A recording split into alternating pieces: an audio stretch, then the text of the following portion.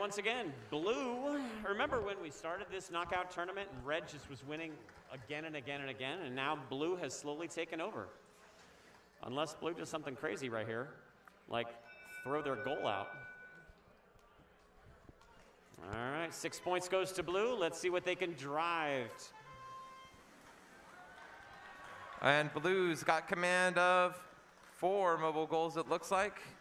It's true. Now It's a we have, commanding the, lead. We have a fight for those last five goals, but blue has every single one of them at the moment. Red can grab the goals, but they just can't shove around the other robot.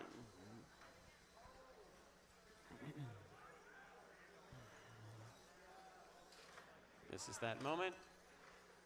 Yep. Red needs to grab that goal. Grabbed it right there. This could be the moment. Nope. It's going to be hard to grab with that arbor tree.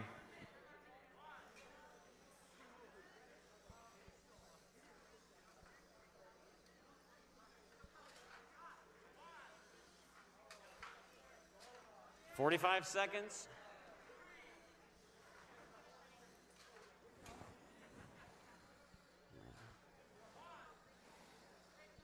they keep trying. They only got six seconds, and then they got to leave him alone.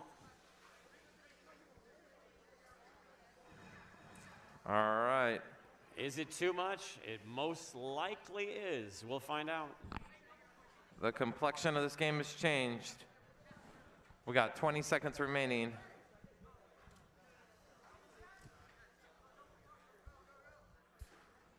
They're going to have to double park this. Yeah, they're going to have to To get have a both robots up there.